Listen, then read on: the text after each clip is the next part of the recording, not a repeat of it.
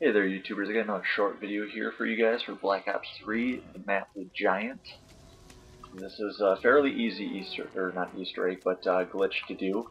All you have to do is work your way back to the power, get this door open, and run to the catwalk room.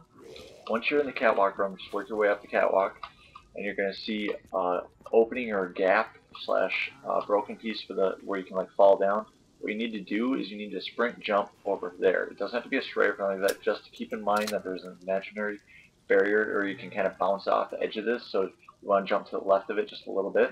All you gotta do is just simple sprint jump and you can jump right up here. You can land anywhere on this.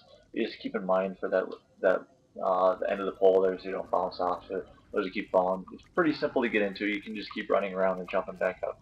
Once you're up here, the zombies cannot uh, they cannot physically get to you. You do have to watch out though. If you go too close to over here, you can obviously get hit because they will come on the other side of the railing. And if they pile up, they can hit you through this fence. But what you can do is there's two spots that you can generally get pretty safe. First spot is this corner. If you get right on the corner and just a little bit, you gotta be careful you don't fall. You should be able to avoid 99% of all hits. You might get hit just a little bit, but you shouldn't die as long as you have Juggernaut. And as long as you, if you see you're getting hit, just kill the one zombie. It only happens when there's a huge mob of them that are pushing into each other, but it's pretty rare.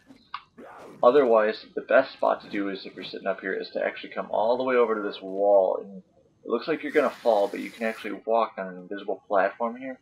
So if you go to... I usually stop where my front foot is kind of even with this thing. It's like right about there.